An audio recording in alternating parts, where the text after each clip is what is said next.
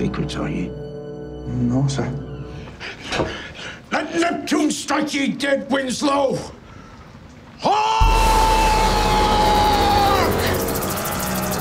Hi everyone, I'm Joel Meares. I'm the editor in chief of Rotten Tomatoes, and today I'm here with the director of The Lighthouse, Robert Eggers, and uh, one half of the madness at its center, Robert Pattinson. Welcome, guys. Hello, thank you.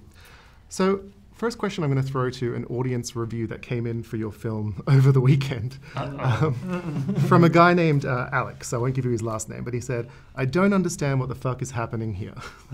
And I'm just wondering if you can you can help. you guys have a great score. Actually, the audience score is really high. But Yeah. can you help Alex's uh, Alex out? What what is happening here in the lighthouse? Um, I mean, I think that that's a fair question to ask. I think that uh, even people who enjoy the movie, I hope that they are kind of exiting the theater asking that very same question. Uh, but uh, you, you know, you don't. I mean, it's just it's just two guys going crazy in a lighthouse. I think the audience ends up in the same place that both the characters end up in by the end of it. You just kind of, just everyone gets caught in the same riptide. I mean, think about how uh, like twisted his character becomes trying to discover and understand what's going on in the movie. So it's only fair. and then you're adding foghorns and things to drive us insane the entire time. Yeah. Um, do you remember the first time you read the script? Because I know you wanted something weird. Did it satisfy that itch? Yeah, I mean, I don't necessarily know if I wanted something weird as such. I mean, I was just kind of.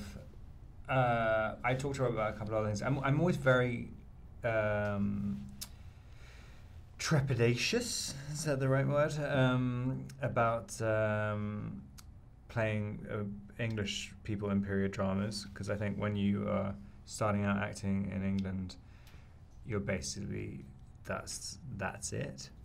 and uh, and it seems like if you do one, then like, you're kind of locked in for a while. Yeah. And uh, so I was always, and that's kind of why I went to America like pretty early on. To, I wanted to play Americans, and I wanted to. Um, I mean, I do feel very English, but like I kind of didn't necessarily want everyone to immediately identify me as English. Um, but then with this, um, I remember reading it and said, this doesn't really count as a period drama at all. It doesn't count as a period piece. Like it is a period piece, but it's like, it just seemed like it was using the period elements to make it seem alien rather than to make it seem familiar. I feel like most period things, they have to kind of check a lot of boxes, first of all, and it kind of puts me off. But this is feel the kind of colloquialism of it and the kind of specificity, it made it just feel very unique more than anything. More than, it, it, it's pretty genreless. Yeah, I want to talk about genre in a second. Why was Robert the, pers- the person to play Ephraim? Or who, Winslow? who who else could possibly do it? I mean, I think uh, Rob carries a lot of m- mystery with him. Uh, I, I don't know if it's you know the way your eyes are set, but but no, he, he and and uh, and like you know when Rob was saying that he turned down a role that I offered him, that he's so smart about the roles that he chooses, and he's looking to work with uh, auteurs and wannabe auteurs like myself, and and take on um, challenging work. I mean, we, you know, I think you did use the word weird, but I think, but but you also said that it wasn't challenging, and and that is what makes Rob such a great, brave actor is that he's he's looking for for challenges all the time. So. Uh, you know, whenever you see a film that he's in, it's co- it's quite uh, staggering because because it's always different from the last one, and and he is taking these these big risks. Uh, I, I just mentioned to him again that, that I re- rewatched Lost City of Z, and there's a moment when he just sees a dead fish and says "extraordinary" four times, and I thought, fuck, that performance is extraordinary. Yeah. You know. And it, I mean, it's an incredible performance in this film. Watched it yesterday. The buzz coming out of the theater, second time, was Rob, you just knocked out of the park. But you're, you're matched sort of in intensity by Willem. And I'm wondering, what was it like working with Willem in such closed quarters when uh, the script of sort of demanded this kind of madness? Um, I mean, Willem. Every, I think everybody loves Willem. I, mean, I think it's kind of impossible not to. Um, but he's kind of. I, I mean, there's a couple of different things. When you read the script the first time, his part could be so dark, like so kind of venal and like there's definitely a world where it could be just horrifying. Um, and there's just something so mischievous about Willem. Like just no matter no matter who like I love like his performance in um uh, oh god what is it called the uh, Nick Cage Laura Dern movie. Um Wild at Heart. Wild at Heart. Like playing the worst person in the world and also and has that kind of intensity and terrifying uh, focus and then he has that ability to just switch so fast on a dime to make to make it like an incre- like you can make something a joke immediately and you never quite know where you stand. And he's very very good at doing that but like and also it's funny because I was doing we uh, like we were to with this rehearsal stuff and and I could see I was kind of going like, okay I see kind of what Willem's doing. I'm gonna I'm gonna hold back. I'm gonna when I've got my big moments I'm gonna try and shock him. And like just Willem whenever whatever you throw at Willem he so immediately can absorb what you're doing and then just completely recalibrate his entire performance on the dime again and suddenly just be like and then to consume you he can just make himself so huge afterwards and like no matter like if you start screaming and shouting attacking him he just he just he just can he can eat you and then and then throw you up back into your own face you had a lot of fun. Yeah, that reminds me of the, the the night of you guys just getting, I guess, blackout, drunk, crazy in the film. I should say, was that fun to direct and to watch happening as it was shot? Yeah, I mean, it, it, it's incredibly fun to work with just with these two uh, uh, actors who uh, are up for anything, game for anything. Like the, you know, they they signed up to this knowing that they were going to be like uh, punished. Uh, well, yeah, we you know we we uh, there, there's been talk about Rob wanting to punch me in the face. Um, didn't really uh, what's that? didn't really It's okay if you did. But I didn't. But but like but uh, you know we were shooting a scene. It's raining. Yeah. The rain's not reading in his close up. So we have to get the fire hose so that we can see the, the rain in, in the close up. But because as you know when you get puts the fire hose on his face and and you know and that's making it harder for Rob to do the action. So we have to do take after take after take. Uh, but I, you know, and, and if you did want to punch me, that's understandable. And I didn't want you, you know, we did use the final take, just you know, so that you know. But but Rob, if we needed three more, he would have done it, Yeah. and he would have done it harder than he did it the last three, because that's the kind of actor he is. And so that night where you're blackout and you're you're dancing and you're Be into the blackout. I'm gonna go straight there. Uh, you're you're hugging. You're you know it's all, all the stages of a massive night out that ends up with you being hungover. But what did you do to prepare to get in that frame of mind? Were you, were you drunk? Were you? What was the situation there? No. Um, well, we shot that in sequence, I think. Pretty the- much, yeah. Yeah, and so it's kind of Rare for this movie.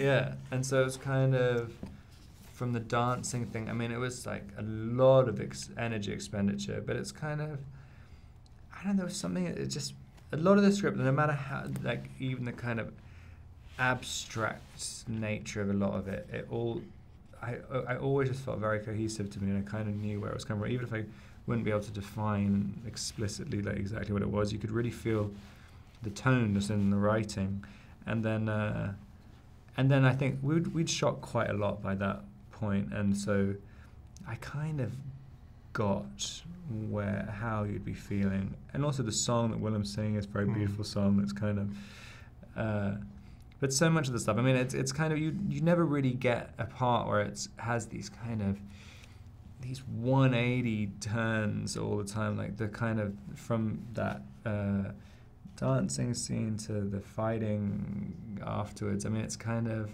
it was so specifically written in the script, and even to the stance, which uh, they were going to be boxing each other. And then even when we were shooting that afterwards, I remember we were doing the fight. We did one take where the fight was just sort of kind of just fighting, and we were like. I like, just needs needs something else, and this guy was like, needs to be strange, needs to be stranger. Which immediately it kind of shows me and Willem immediately take two, both just grabbing each other's dicks. That wasn't in the script, was it? No, that that was that, that was. I, I said there's no improv in this movie, but I suppose that was uh, that was. Both our instincts. Like, Yeah, no way to take it. but you know, but uh, yeah, I mean, and they were really punching each other. It's That- all the Willem, Willem, Willem, I swear to this day, was just putting his middle finger like this. He's watching it, just right in my ribs. And I was Oh, like, God. Jesus, no padding. So you had some other co-stars in this movie, uh, sort of following on from Black Phillip. You went to Seagulls. yeah. How was that like to direct animals again? And what was it like working with the Seagulls? The, the the goat you can't train a goat so uh, don't ever make a movie with a goat in a major role I, I film students don't do it uh, uh, but the seagulls were incredibly well trained uh, they, they came from the uk like rob uh, uh, classically trained british actors hiding there doing Maine accents uh, and uh, but they um, their names were lady tramp and johnny and they were they were fantastic I, I don't think I ever ever had any interaction with the seagull. Like I just yeah Oh, that's no. editing. yeah yeah I had a one interaction with the with the rubber chicken. um, but like, when people have to watch that scene because it's, it's pretty great Yeah. too. Uh, Robert Eggers, I'm sorry, I'm going to call you Eggers and Pattinson, but Eggers, you're part of a sort of new wave of well, horror filmmakers, at least for your first film, who came out the gates with these incredible, you know, I'm thinking Jennifer Kent, Ari Ari Aster. And I feel like you guys went away and chatted and said, for our second films in 2019, we're just going to screw you up. and we're not going to give you anything that looks like a genre film. And I wonder, what what genre is this movie? And I, I guess the question is, what what are you guys doing with sort of stretching the elasticity of, of genre at the moment? Yeah, I mean, first of all, that that meeting of the three of us did happen, uh, and and it was and it, and and I don't know how you found out about it because uh, y- you know. Jennifer told me. Okay, of course. Uh, uh, anyway, uh, I look. I don't know. Uh, I I I, I uh, bow down and pray to the altar of genre every day because it was able to get this movie and the other movie made. Uh, you know, what genre is it? I really couldn't tell you. Like. Um, I uh, I think that a lot of ways it's, it's it's like the in many ways it's like the literary genre of a weird tale, like the work of Blackwood, M.R. James, Arthur Machen. Uh, but because of uh, a lot of the th- sort of theatrical traditions that it draws from, that doesn't quite fit either. Um, but uh, I've had journalists and uh, and other people who get my intentions and our intentions who said that they see it as a horror movie and they actually think it's scary. I don't think it's scary. Uh, you know, I hope it's like slightly dreadful at least. Uh, but uh, though I don't, but I don't mind if it scares Yeah. people. You know, and and really, like we need uh, people can call it whatever they want, and we need to have these labels so that we can talk about things. Uh, the only thing that bothers me is when my my my fellow nerd brethren get feel like you need to have a, a exact list with exact boxes checked to call something something. Uh, you know, it does it doesn't matter when the iron late Iron Age ended and the early Middle Ages began. They, in academia, they do have the same kind of like uh, uh, arguments, but. It, we're all just trying to find words and ways to talk about stories that we like. So we should Yeah. just it should be fine. Robert Pattinson, uh, how do you describe it? If I was to ask you, do you find it scary? Do you find it? I mean, I, I've or you're probably just going to be like, "What are you talking about? You're wrong." Uh, no, I, I'd love to hear it. Here, take the card. No, I mean because it's kind of there's lots of like grotesque stuff in it, but it doesn't really. F- I, I I don't think it's pat- scary as such, but it's kind of what appealed to me the most in the script was that sort of humor where you. Do, I mean, I remember the first time I read it, and I, was, I wasn't entirely sure if how much you even knew it was funny or which bits because I was right. like I didn't really know what it was supposed to be and like uh, but it kind of reminded me of like kind of Buñuel stuff like Sure. kind of Un Chien Andalou like the kind of when you it's sort of there are sudden images of which are just really like really frightening all of a sudden but it's not it's not kind of really concertedly trying to build tension to have a specific release. Yeah. Like you're kind of it's sort of the tension is built up, and then you're just part of the tension afterwards. Like it's kind of. Um, it's, it's a tense. We just call it yeah. a tense genre. A tense. but it's kind of a, it's a bit, and also like a kind of dark, dark, dark, dark comedy. Like I mean, it's kind of like sort of surreal comedy. It's kind It of, is. It is hilarious. Mm. Um, just before we wrap, you've, your next film, The Northman. Do we know what genre that's going to be? Um, musical. Musical. Very excited. yeah. Okay. Um, Anything you can tell us about it? uh, it's uh, a revenge drama, whatever you know. Very exciting. We'll have this chat in two years and see how we describe it then. I mean, I don't even you know until it's that was leaked, not announced. So I Oh. don't even know if it's. I don't even know if I'm gonna This is make unofficial, it. I, okay. ho- I hope. I hope I do. All right, great. Uh, and Robert, your next film. Tell us anything about that. Are you excited to take on the Batsuit? Uh, yeah, very, very. Thanks. Awesome. It's not. It's too. F- still far enough away to not be nervous. This is still a fun part for me. Thank you guys so much. The Lighthouse is in theaters now. It'll be expanding. Check online to see if it's coming to you guys, uh, coming close to you. Thanks again, guys. Thanks Congratulations. very much.